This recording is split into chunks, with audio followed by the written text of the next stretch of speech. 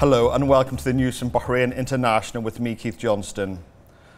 Under the directives of the representative of His Majesty the King for Humanitarian Works and Youth Affairs, Honorary President of the Royal Equestrian Federation and Endurance Races, His Highness Sheikh Nasser bin Hamad Al Khalifa, and under the patronage of the President of the Bahrain Royal Endurance Federation, His Highness Sheikh Isa bin Abdullah Al Khalifa, the National Days Championship of the 11th Purebred Arabian Horses was launched at the Rashid Equestrian Club and Horse Racing in Rifa, which is organised by the Royal Equestrian and Endurance Federation. His Highness Sheikh Nasser affirmed the National Day Championship for purebred Arabian horses reflects the high status of the Kingdom of Bahrain in equestrian sports and the great care the sport receives from His Majesty King Hamad bin Isa Al Khalifa. His Highness Sheikh Nasser indicated that the championship coincides with the Kingdom's celebrations of the National Day and His Majesty the King's accession to the throne, which is the Royal Equestrian Federation, are keen to organise them in the best form. His Highness also noted that the wide participation of owners and stables affirms the increase of purebred horse production and the development of this ancient sport that witnesses an exciting competition. His Highness Sheikh Nasser expressed his appreciation for the outstanding efforts made by the Royal Federation and all committees and referees for their keenness to organise an ideal tournament, wishing every success to all the participants.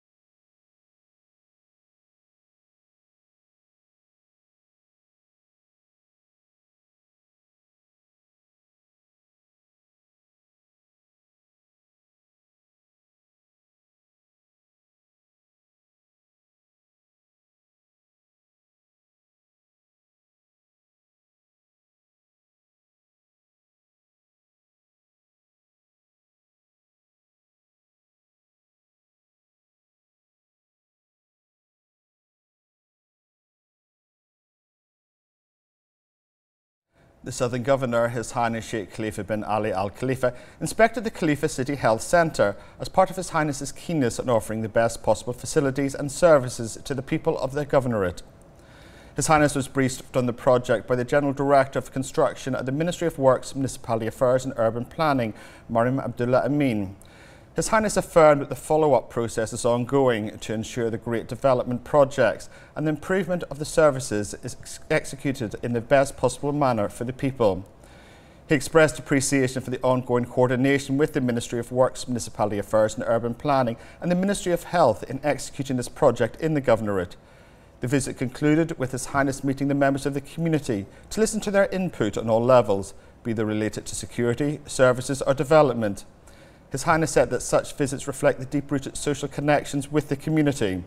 It is worth noting that the visit took all the necessary health precautions in light of the exceptional circumstances that have been imposed by the pandemic.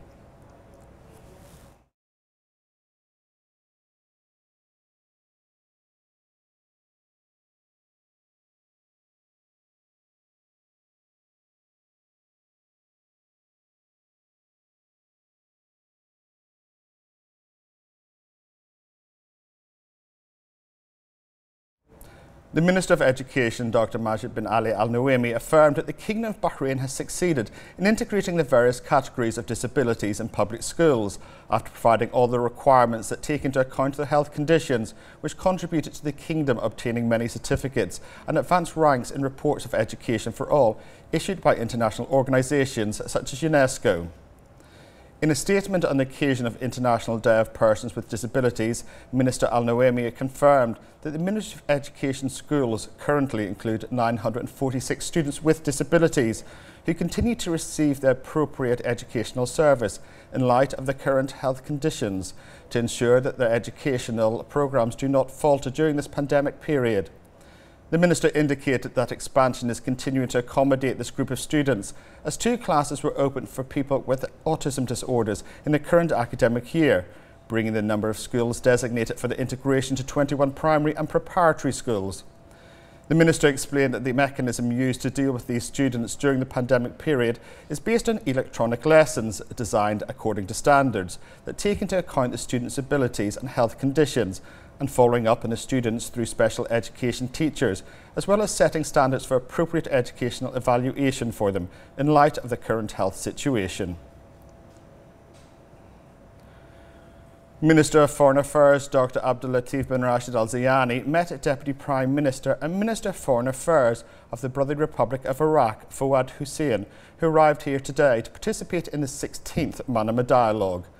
Dr. Al Zayani welcomed the Deputy Prime Minister and Minister of Foreign Affairs of the Republic of Iraq, expressing his pride in and appreciation of the path of bilateral relations existing between Bahrain and Iraq, praising the development and growth of these relations in various fields he also wished Iraq and its people security, stability and prosperity.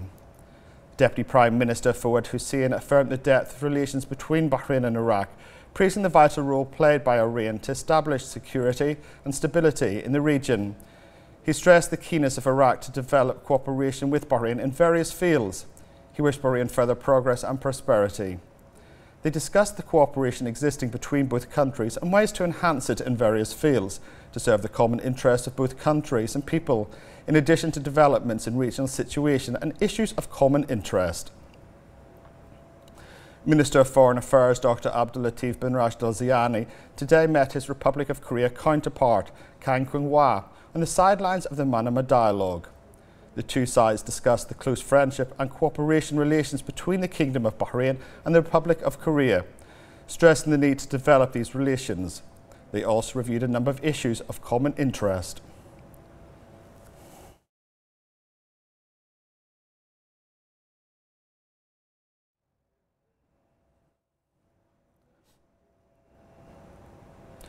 Minister of Foreign Affairs Dr. Abdul Latif bin Rashid Al Zayani met today the National Security Advisor in the Islamic Republic of Afghanistan, Dr. Hamdallah Mohib, on the sidelines of the 16th session of the Manama Dialogue Conference.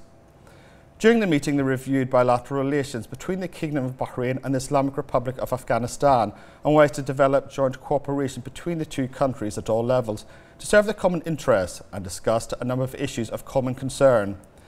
The meeting was attended by the Undersecretary of the Ministry of Foreign Affairs for International Affairs, Dr. Sheikh Abdullah bin Ahmed Al Khalifa, and the Director of the Department of African Asian Affairs, Ambassador Muna Abbas Radhi. On the Afghan side, it was attended by the accompanying delegation of the National Security Advisor. Minister of Foreign Affairs Dr. Abdul Latif bin Rashid Al Zayani today met the President of the International Committee of the Red Cross, the ICRC, Peter Maurer, on the sidelines of the 16th Manama Dialogue. They reviewed the efforts made by the International Committee of the Red Cross and the aid it provides to various afflicted people in the world, and emphasised Bahrain's interest to continue to cooperate with the committee to serve the goals of humanitarian and relief work. The meeting was attended by the Under Secretary of the Ministry of Foreign Affairs for International Affairs, Dr. Sheikh Abdullah bin Ahmed Al Khalifa, and the Director of Organisations Ambassador Fatima Abdullah Al Dahidin. Bahrain Bourse announced the signing of a memorandum of understanding with the Israeli Diamond Exchange to find topics of common interest and cooperation fields between the two bourses. The memorandum was signed between the Chief Executive Officer of Bahrain Bourse, Sheikh Khalifa bin Ibrahim Al Khalifa, and the president of this Israeli Diamond Exchange, at Yoram Dvash. For his part, Sheikh Khalifa bin Ibrahim expressed pleasure in signing the memorandum and aspiration for establishing constructive relations with the Israeli Diamond Exchange. He also expressed hope that the memorandum contribute to expanding means of cooperation in joint initiatives. The president of the Israeli Diamond Exchange expressed aspiration to increase communication and dialogue with the Bahrain Bourse and exchange ideas and information as well as commercial cooperation activities. The Bahrain Authority for Culture Antiquities BACA President Sheikha May bin Mohammed Al Khalifa has embarked on a tour to meet leading officials after her nomination for the post of World Tourism Organization UNWTO Secretary General. She met in Cairo Arab League Secretary General Ahmed Aboul Gheit and Egyptian Minister of Tourism and Antiquities, Dr. Khaled Al Anani. The Kingdom of Bahrain has nominated BACA President Sheikha May Mohammed Al Khalifa for the post of UNWTO Secretary General in recognition of her achievements in the sector of sustainable tourism and her pivotal role in promoting cultural tourism. Sheikha May has outlined her vision and strategy, which consists of seven axes to advance the vital sector globally, with a focus on activating its role in achieving development and reaching the United Nations Sustainable Development Goals.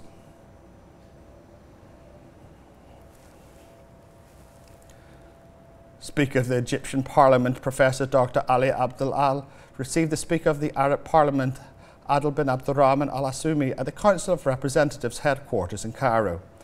At the beginning of the meeting, Dr. Ali Abdel Al renewed his congratulations to Adel Al Asumi on the occasion of his election as Speaker of the Arab Parliament, adding that this election is acclaimed confirms his competencies as distinguished experiences enjoyed by the people of the Kingdom of Bahrain to assume various responsibilities and high international positions, and is one of the outputs of the reform project of His Majesty King Hamad bin Isa Al Khalifa, who established Bahrain's position of all Arab, regional and international levels. The Egyptian Speaker of Parliament appreciated the role of the Arab Parliament plays in championing Arab causes and defending the interests of the Arab people, stressing that the current priority of this difficult phase in the Arab nation is going through is must to strengthen the economic cooperation between Arab countries and activate joint Arab active institutions. For his part, the President of the Arab Parliament reviewed the main features of the new action plan for the Arab Parliament, pointing to the establishment of a Centre for Arab Parliamentary Diplomacy in the Arab Parliament within the framework of the Parliament's orientation towards activating a role of parliamentary diplomacy in the service of Arab nations' issues. Works Municipality Affairs and Urban Planning Minister Essam bin Abdullah Khalaf and Health Minister Faeqa bin Said Al Saleh have paid an inspection visit to the medical complex in Muharraq. They were informed about the progress of the Muharraq Healthcare Centre and the Multiple Sclerosis Care Centre projects, both implemented by the Works Ministry for the Health Ministry, based on the directives of the late His Royal Highness Prince Khalifa bin Salman Al Khalifa, to meet the needs of the citizens and upgrade the health services in the kingdom. Minister Essam bin Abdullah Khalaf expressed the Works Ministry's pride in contributing development projects, especially those that directly serve the Bahraini citizens. He also reiterated support for the Health Ministry's efforts, programmes and strategic plans aimed at meeting the citizens' needs for receiving treatment and health care. Minister Al Saleh said that the Kingdom's health sector is making major strides as reflected in the provision of comprehensive health care, raising the level of health awareness and promoting fairness in the distribution of health services, noting that the Health Ministry is determined to continue providing healthcare facilities and specialised health personnel to accommodate the needs in this sector. The two ministers were informed about the progress of the Muharraq Healthcare Centre through a detailed presentation about the project and its implementation phases. The ministers were also informed about the implementation phases of the Multiple Sclerosis MS Care Centre in Muharraq Medical Complex, which is the first of its kind in the Arabian Gulf region.